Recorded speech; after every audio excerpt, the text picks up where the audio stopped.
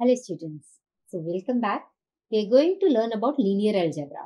Linear algebra भी prerequisite है जैसे कि statistics है या central tendency है measures of spread है उसी तरीके से ये भी linear algebra भी एक बहुत ही important topic है so that we can analyze the data and we can prepare the model.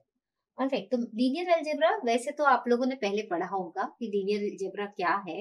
Linear algebra is nothing but you know data का एक रिप्रेजेंटेशन कैसे होता है डेटा का एक रिप्रेजेंटेशन आप जनरली जब डेटा को रिप्रेजेंट करोगे लीनियर एल्जेब्रा में आगे पढ़ेंगे तो आपके पास इक्वेशंस होंगे। Say suppose three X plus two Y is equals to seven say suppose and four X plus 5y is equals to 8 से suppose I'm taking random numbers तो जब आप ये इनको solve करना होगा तो what you will do you will form a matrix तो एक matrix बनती है 3 2 4 5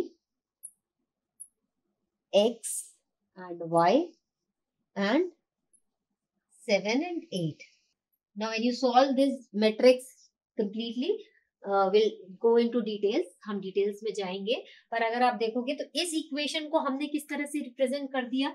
एक मैट्रिक्स के फॉर्म में रिप्रेजेंट किया। ये मैट्रिक्स uh, भी है इसमें वेक्टर्स भी हैं। अब now what is the difference between matrix vector and there is one more thing that is scalar what are these things are scalar एक सिंपल वैल्यू को स्केलर बोलते हैं।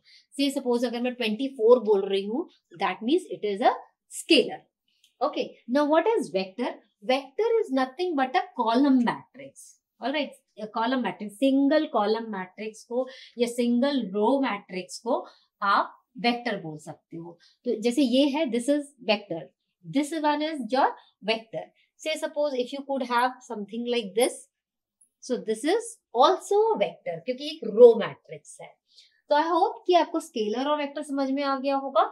और मैट्रिक्स ये वर्ड आपके लिए अनफिमिलियर नहीं है। जो भी डेटा रो और कॉलम के फॉर्म में होता है, उसे हम मैट्रिक्स बोलते हैं।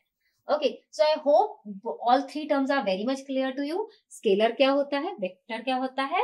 और मैट्रिक्स क्या होता है? Thank you students